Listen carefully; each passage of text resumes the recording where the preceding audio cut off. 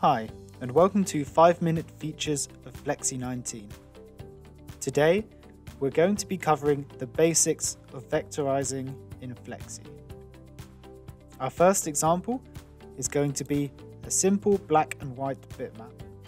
Our customer would like us to cut the black object out of vinyl and send it to them. If I try and cut this object through the Cut Plot tab, Flexi will tell me there is no cuttable object within the current setting. That is because I need to convert this object to a vector before I can cut it. So let's see how we can do that in Flexi. Our most simple example is going to be the Auto Trace tool. If I come to the bitmap, the vectorize, and select Auto Trace, I can simply click and drag over my black and white bitmap. Then if I come back to my selection tool, we can see it has traced the black outline of my bitmap and this is now a vector path. If I come to the cut plot tab, my object is now detected and I can resize it and cut it out of vinyl as I need. The auto trace function is the most simple example of vectorizing in Flexi. If we come back to the menu, it has some handy options such as noise reduction and sharp corners to help with those more pixelated and tricky bitmaps. For our second example, we're going to look at tracing a colored bitmap. If I come to my second file, here I have again quite a simple colored bitmap. My user would like me to cut this object out of vinyl for them. Again, if I come to the cut plot tab now, it will tell me there's no cuttable object within my current setting. So, how can we vectorize this in Flexi? First of all, if I come back to bitmap, vectorize and auto trace, let's see what happens.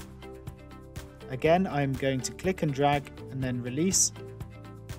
Come back to my selection tool, but we see the auto trace has only traced the most contrasting color in my image.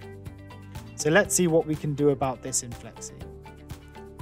If I come to the bitmap, vectorize and color trace option, we see a different menu comes up in Design Central.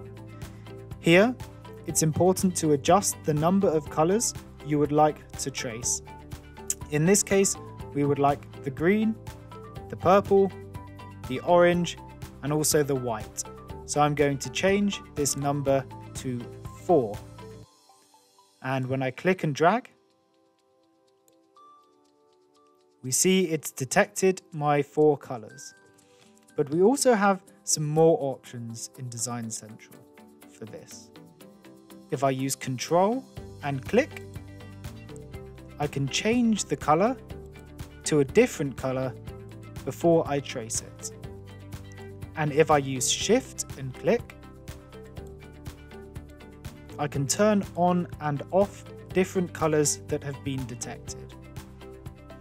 And when I press apply, and I come back to my selection tool, first we'll remove our white corners, and then we'll remove the bitmap from behind. Now we have a fully workable vector object.